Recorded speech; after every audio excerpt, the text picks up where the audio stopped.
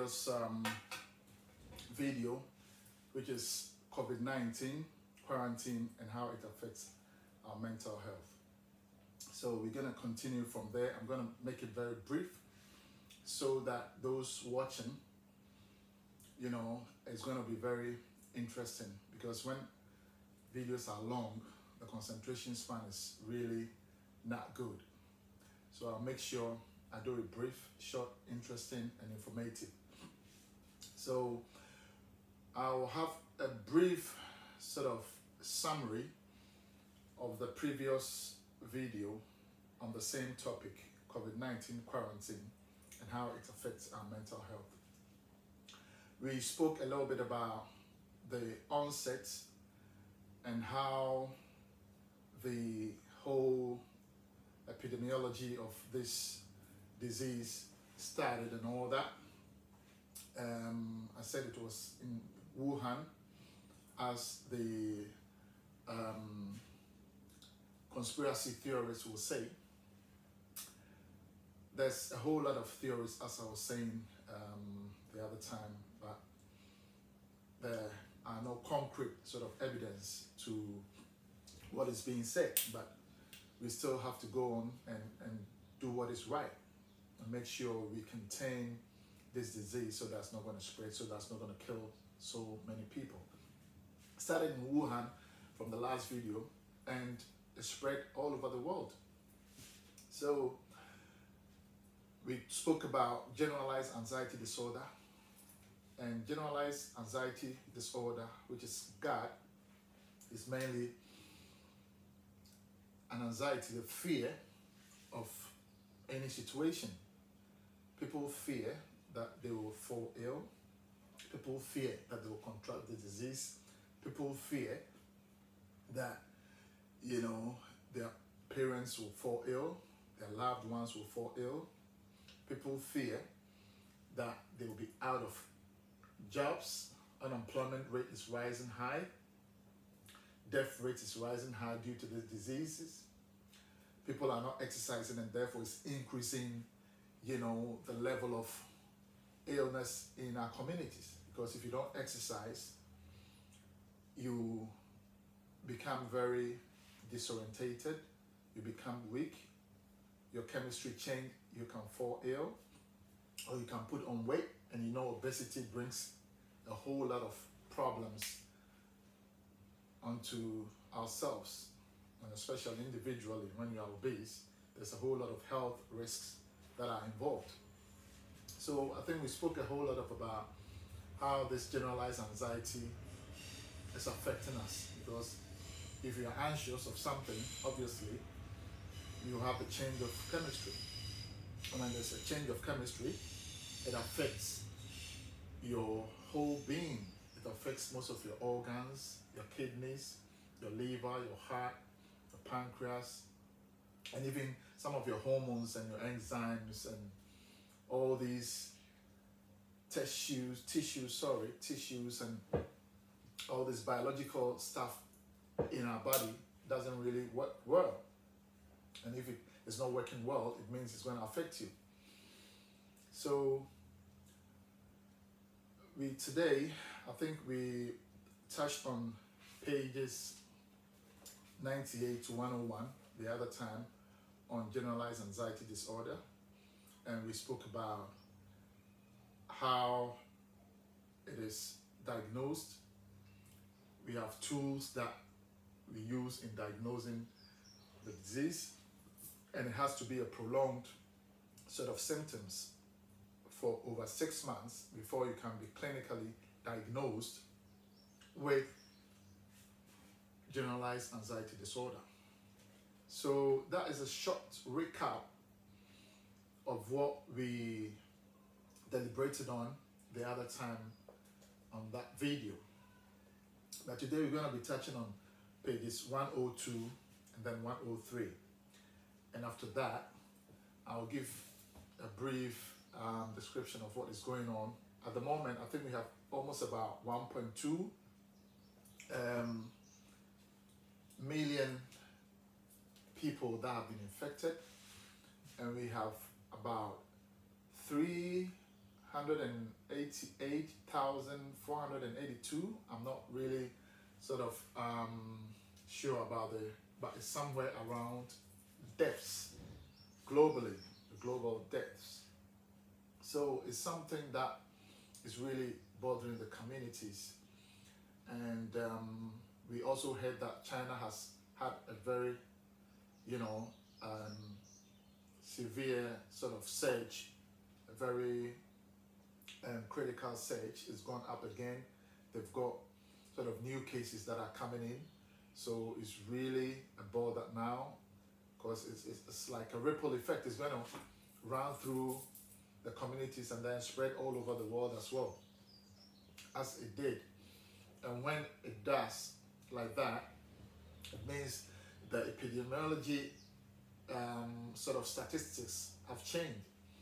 So if they ease up the containment strategy in terms of the lockdown, if it's being eased in a very graduated approach, then communities out there have to be careful on how to make sure that individually you protect yourself. Because now that there's a rise in infection rate China, definitely it means that when there's an ease or an ease of the lockdown, it affects the population and therefore infection rates go up. If infection rates go up, then it means death rates is going to go up as well. Because now we don't have a sort of solid medication that really combats this disease. I've heard that um, one steroid, I've forgotten the name, in England, they were, you know, talking about it on BBC that they've got that medication and that medication has been in the system for quite a long time and it is really helping to save lives because as soon as you're on a ventilator or you are in a critically ill situation and they administer that medication, it's saving lives and there's proof. So right now we don't have specific medication for this COVID-19. They are trying to get some antivirals, they're trying to organize and do some clinical trials to make sure that something comes, comes up very quickly so that we can all be saved. If it's via, um, what is it called? If it's via injections in terms of um, vaccinations, which is going to combat the rise of the disease, they are doing clinical trials all over the world to make sure they come out with something. So it has been a very uncertain period and the uncertainty level is really rising and it has therefore affected individually our mental state. And everybody has a level of anxiety depending on that individual. Some are clinical, some are being able to manage it, they have been able to cope with it. They've got their own, developed their own coping mechanisms and strategies to deal with the current pandemic pandemonium, as I always put it, because it's been a chaos. It's been a chaos situation. It's been very chaotic. People are running helter skelter to make sure um, they are safe. But at the moment, people are, they've, some have lost their job and they are on furloughs and all that. And some are not even being paid. Some are taking their companies to court. It, there's a whole lot of things going on. Because the lockdown brought so many, you know, things in terms of anxieties into the communities. So it's been a very critical um, moment that we have to sort of think about. Sorry, I was setting my time. So today, without much ado, I'm going to pick on the um, chapters, um, the pages 102 to 103, so that we just get rid of it and then we get prepared for our next video. So we are going to treat just two topics today 102, pages 102 and then 103. We were talking about phobia, phobia and then panic disorders. So let's first of all read about the phobia and see what, what, what phobia is all about. The single largest category of anxiety disorders is that of phobic disorders, which includes all cases in which fear and anxiety is triggered by a specific stimulus or situation. So it means that something triggers your brain that you will hit the level of panic, the level of fear that you just don't want to.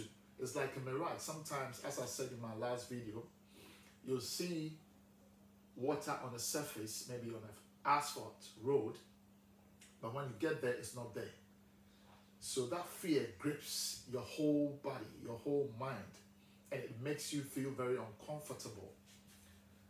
So it's called phobia, the fear of something specific. So individually, everybody has got their own specific situation that brings about their panic, that brings about their phobia, that brings about their fear. So, for instance, I've got a phobia of flying. So mine is different. Yours might be different. Maybe flies, mosquitoes, or lizards. Every every individual has their own phobia. And maybe people are not sort of transparent to tell you that, oh, this is my phobia, you know, I don't like this or I don't like that. So between 5 to 12% of the population worldwide suffer from phobic disorders. So this 5% and 12% that suffers from you know the phobic disorders are clinically diagnosed. So this, this is the statistics of the population. So which means there are more. This, this, you know, some sieve through the net. Some get through the net without diagnosis. So which means those that have been diagnosed is 5 to 12% of the population. So these are clinical cases. They are not ordinary cases. They are cases that have been brought to the specialists, that have been brought to the hospitals, that have been brought to the GPs, that have been brought to the surgeries, that have gone through clinical assessment and evaluation to come to this diagnosis. So, which means those that haven't come through the system are not part of this statistics. So, which means there are more out there. There are more people with phobic disorders that we haven't even known because they wouldn't allow themselves to be checked by professionals, by clinicians, by the multidisciplinary teams to make sure that they overcome their phobia. So sufferers typically, um, sorry, sufferers typically anticipate terrifying consequences from encountering the object of their fear, which can be anything from an animal to a location to a bodily fluid to a particular situation. So, as I said, individually, everyone has their own specific phobia, own specific issue, own specific elements, own specific substance, own specific objects, own specific type of fear that comes upon them. So, sufferers understand that their fear is not proportional to the actual potential danger, but still are overwhelmed by the fear. So, you see, this is something to talk about. Somebody might be there, just like me. Let me use myself as an example. The fear of flying, phobia of flying. I'll go through a whole lot of panic attacks, a whole lot of bodily, you know, alterations, changes in temperature, sweating here and there, you know, palpitation, headaches, and all that. But at the end of the day, I'm going to get to my destination because I'll be thinking about so many things. The fear of height, I fear height, and therefore flying is, you know, you you'll be high, sometimes thirty-seven thousand feet or thirty-seven thousand altitude, which is very high. And even when you are descending, it, it drops and drops and drops. So you go through all that, and then at the end of the day, the plane lands, but nothing happened. But you were, your fear knocked you down in such a way that you thought something was going to happen to you. But at the end of the day, you, you flew from point A to point B. My daughter's fear flies, ordinary butterflies and all these insects flying around. They'll be screaming and all that. You have to go and help them sort it out. I said, if we ain't around, how are you going to deal with this situation? You better get your acts right so that you deal with that situation there and then, so that you overcome your phobia. Because if you don't overcome your phobia, it's going to grow into something else. That is when it gets to the clinical state. It means you need professional advice or professional support. Because if you sit down there for your phobia to overcome you and you get diagnosed, then it means, you know, you've you've you've you've, you've been to a situation whereby you can't handle it. You haven't got any coping mechanism. You haven't got any strategies to handle your phobia. So it's it's individually different. Mr. A or Mrs. B will have a different phobic attack from Mr. B or Mrs. B. Somebody will fear driving. They don't want to go close to the driving seat. That's a fear, it's a phobia. But then we have ways of winning people like that from their phobia. That's when it gets clinical, it gets very worried, and then you have to seek a professional advice, which sometimes to if you are clinically diagnosed, if it's to some extent, maybe you need medication or if it's managed, you have some sort of talking therapy that is going to get you through it and then you overcome your fear. But it's not easy, as I'm saying it, it's not easy because it's something that really bothers individuals.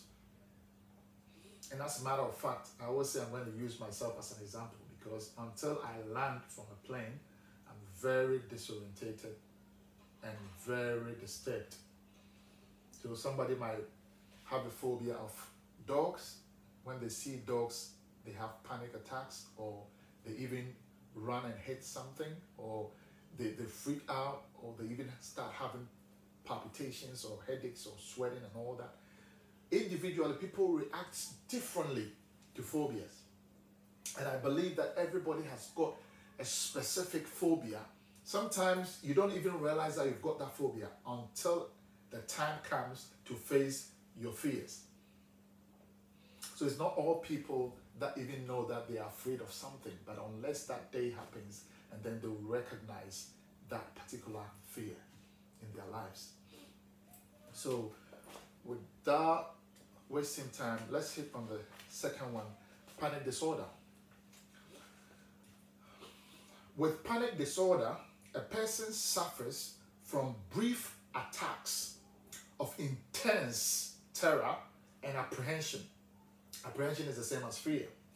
Often marked by trembling, you shake, trembling, you tremble, it means you shake, shaking, confusion, dizziness. Sometimes you get dizzy because you're overwhelmed and your chemistry changes. When your chemistry changes, it brings a whole lot of symptoms that are some are physical and some are internal. So dizziness, nausea, some can even vomit, and or even breathing difficulties. So you see, from phobia, you come to panic attacks. So what is going to happen is when there's a phobia and you face your fear and you think that is real the symptoms of you fearing that object or that instance or that particular thing will bring upon that individual that panic attack. And panic attack comes in different shapes and sizes. So you see, they've mentioned trembling, shaking, confusion, dizziness, nausea, even difficulty in breathing. Some can't breathe. So it means somebody with a phobic disorder can go through panic disorders. So it's, it's linked. You know, all these deliberations that we're doing is, is all linked up. Because when you have generalized anxiety disorder and there's a fear, you are anxious about something, and you go through that phobic state, obviously you will have the symptoms of panic attacks. Some individuals can't breathe, they have breathing difficulties. Some even have nausea, they can throw up. Some have dizziness, you know, they go di- dizzy and, and, and giddy. They can't they can't really see things and they sometimes some even pass out.